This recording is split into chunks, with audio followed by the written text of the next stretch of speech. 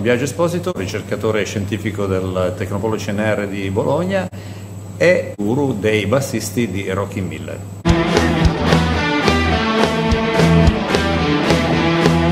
Come inizia la tua carriera musicale? Come arrivi ai Rocky Mille e come arrivi ad essere ricercatore? Un tragitto così un po' lungo. Nella prima parte sono venuto qui a Bologna, sono calabrese, sono venuto qui a Bologna a studiare, in realtà studiavo poco perché in realtà facevo il musicista, poi ho suonato negli studi di registrazione, ho fatto il turnista per nove anni, poi ho smesso di fare il turnista e ho deciso di intraprendere un'altra carriera, quindi ho deciso di finalmente laurearmi e di fare il dottorato e di seguire un po' eh, una, una carriera leggermente diversa, cioè andare a vivere all'estero, sono stato a Praga, ho vissuto a Catania per due anni laddove c'era un'attrezzatura di un certo tipo che mi interessava per quelli che erano i miei studi.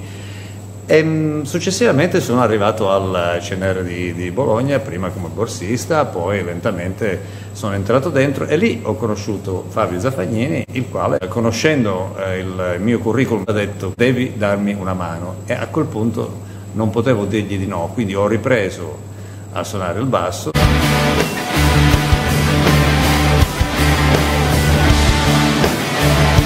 Rocky Mille chi sono? Cosa fanno? Fabio Zaffagnini una mattina si è svegliato e ha deciso che non gli interessava più organizzare dei pullman per portare la gente ai grossi concerti partendo da Ceseno, dall'Emilia Romagna. I concerti si svolgevano a Milano, a Roma. Partendo da questo subuglio emotivo ha deciso di inventarsi qualcosa, cioè di eh, far sì che eh, la sua band eh, del cuore, cioè i Foo Fighters, venissero a suonare a Cesena, che era in realtà un sogno, perché nella città di Cesena il Palasport, che è il luogo dove, più, grande dove si possono fare concerti, ospita 2500 posti, quindi i Foo Fighters non vanno in posti così piccoli. Ha pensato per poter ottenere una cosa del genere se la chiedo io da solo non mi ascolta nessuno. In mille a chiedere questa cosa a, a Dave Grohl forse la cosa può avere un seguito. Ergo è stata organizzata una giornata dedicata ai Foo Fighters, cioè mille musicisti che abbiamo suonato un brano dei Foo Fighters e alla fine della registrazione, cosa anche abbastanza complicata perché è la prima volta che suonavano così tante persone, Fabio ha fatto lo, l'invito, ha invitato i Foo Fighters a venire a Cesena. Il cantante dei Foo Fighters ha detto veniamo e da lì è cominciata un'avventura vera e propria. È la band più numerosa al mondo. Abbiamo anche un Guinness.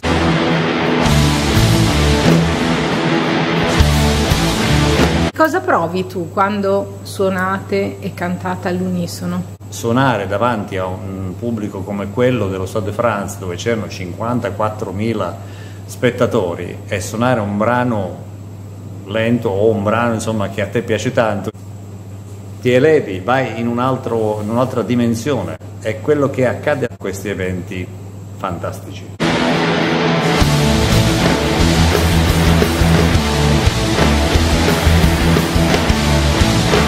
con il tuo lavoro da ricercatore? Cosa ti auguri di fare? Al momento io mi occupo di eh, depurazione del, de, de, delle acque dagli inquinanti emergenti, cioè ci sono un po' di sostanze nelle acque che non vengono depurate dai depuratori. È la conseguenza di tutto ciò che questi composti crescono quantitativamente sempre di più e alla fine ce li ritroviamo, scusate il termine non proprio scientifico, nel rubinetto quindi a volte è importante pensare a quello che accadrà a breve, e cioè che questi composti poi cominciano ad essere tossici nell'acqua. Al momento esso non è ancora un'emergenza, ma come ricercatori noi dobbiamo andare un po' oltre e quindi anticipare i tempi. Nella musica invece cosa sperimenti? Allora, io ho anche una band, ci chiamiamo Love Polaroid e in questi brani in realtà facciamo piccole sperimentazioni che mm. sono legate ai mezzi che utilizziamo, cioè accordature aperte, eh, cose che insomma necessitano di un minimo di ricerca. Da grande che cosa vuoi fare? Quando andrò in pensione credo che andrò a fare il pittore sulla, sulla, su una spiaggia mm. e fare qualche acquerello con l'acqua di mare. La, con l'acqua di mare, utilizzi l'acqua di mare come Leonardo utilizzava è un solvente, invece di utilizzare sì. l'acqua utilizziamo per fare... De sorriso. No, no, è bellissimo invece. Il tuo modo di sentire è quello sempre di trovare una soluzione a qualche cosa e sperimentare.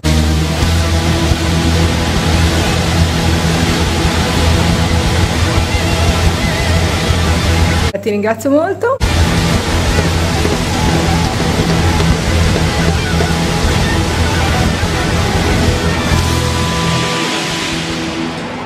Stop.